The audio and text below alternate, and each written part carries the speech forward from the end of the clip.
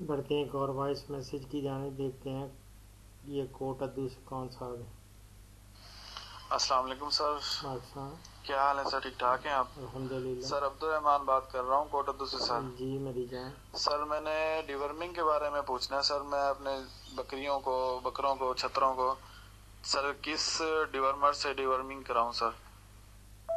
Sir last time मैंने निल्जान plus use की थी तो जिसकी वजह से ना सर इनको बड़ा बैडली इफ़ेक्ट हुआ था और काफ़ी ज़्यादा इनको ना सर मोशन के स्ट्रेस में रहे थे और राउंड अबाउट सर तकरीबन एक हफ़्ता तक ये कंटिन्यूसली मोशन के उसमें रहे थे, फिर इनको मुझे मोशनों की इलाज करना पड़ गया था।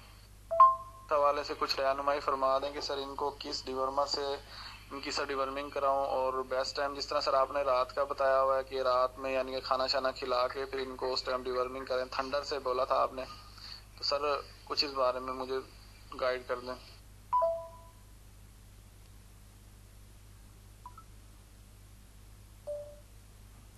थंडर ज़्यादा बेहतर है या सोलोजान ले सकते हैं?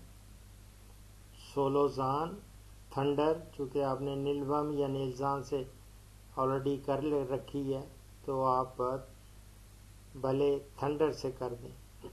और आजकल रात को भी देख कर देते हैं, जब बांधते हैं तो उसके बाद चूँकि खाना पीना यूँ नहीं होता तो इसलिए। अदरवाइज़ तो मैं मॉर्निंग को पहले इसको, इनको गुड़ खिला के और उसके बाद दवाई दे देते हैं। और थंडर जितनी मकदार अगर फ़र्ज़ करें टेन एम है तो टेन एम ही उसमें दूध मिला के तो वो पिला देते हैं।